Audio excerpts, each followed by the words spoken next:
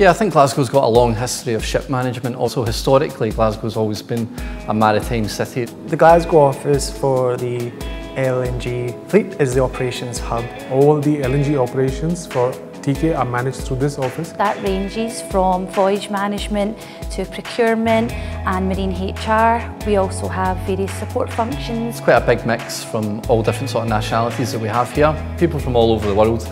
The most rewarding thing in this office is a fantastic working atmosphere. Very open working atmosphere. Everyone's really friendly, it's open discussion and everybody does try and help each other out. It really works having everyone on the one floor Facilitates a lot of communication between the various teams. and working together, teamwork, trying to achieve goals together. We all fight for a common goal to have the best operational excellence and operate the Teekay gas services with the best Teekay spirit. We're really lucky because the seafarers do come into the office on a regular basis. where I get the opportunity to constantly interact with seafarers coming into the office, new hires, induction. And it's great to meet with them and again that's promoting the teamwork with ship and shore and it's really important that we spend the time together and build that relationship. We're really lucky that we're the type of company that tries to get as much interaction as possible with the officers. It's, it's so hard to put it into one word. Dynamic.